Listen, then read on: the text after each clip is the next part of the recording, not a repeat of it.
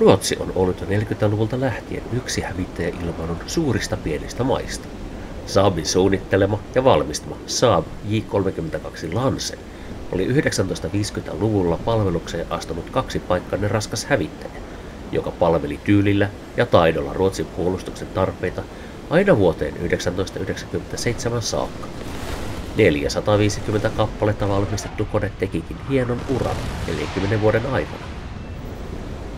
War Thunderissa Lance on tarjolla kahtena eri versiona, A32 rynnäkkökoneena ja J32 hävittäjänä.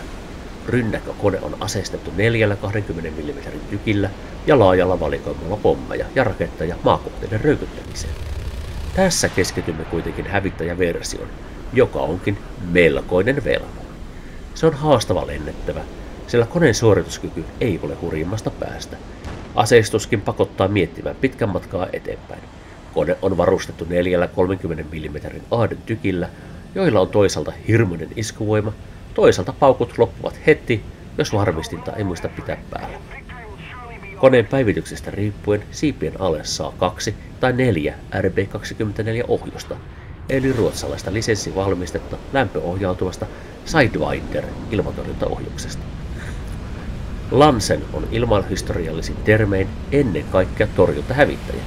Tutkalla varustettu raskas hävittäjä pääsee jälkipolttimellaan hurjiin nopeuksiin, ylittäen syöksyssä jopa äänen nopeuden. Se kiipeää hyvin ja ylläpitää vauhtinsa kiitettävästi. Koneella voi tilanteen niin suodessa harrastaa myös pystyliikkeitä, mutta vääntämään sillä ei pysty. Lansen on kuin se kuuluisa lentävä tiili. Menee hyvin suoraan, mutta jos sauvasta vääntää, niin mitenkäs sitten kävikään. Energia katosi, vauhti putosi. Sitten ollaankin makupala kelle tahansa ketterälle pikkupirulaiselle, eli lähes mille tahansa muulle hävittäjälle, joka sattuu saman läänin alueelle. Lansenilla ilmataistelut ovatkin varsin taktista pelaamista. Pelisilmää on syytä käyttää ennen taistelun ryhtymistä, sillä tällä koneella mennään mieluiten lujaa ja suoraan liiallisia, liiallisia manööverejä vältellen. Paras maali tarjoaa pelaajalle takapuoltaan lämmintä moottorin hehkua, johon ohjusta voi tarkkaavaisesti mallailla ja johon puikko hakeutuu iloisesti suristen. Ehkä samalla syöksyllä ehtii ampua sama maalia parikin kertaa, tai hirveän hyvällä mäihällä samalla koukkauksella eteen löytyy toinenkin maali. Ehkä kohdetta täytyy sipaista tykeillä, jos ohjukset eivät tykkää. Mutta vääntämään niiden kanssa ei tällä koneella voi ryhtyä. Jos kohde breikkaa rajusti sivuun, Lansenilla jatketaan suoraan. Otetaan irti, otetaan korkeutta, haetaan uutta paikkaa. Joskus vihu taittuu väistön jälkeen perään, mutta riittävällä nopeudella suoritetun iskun jälkeen Lansenilla pääsee varsin hyvin irti.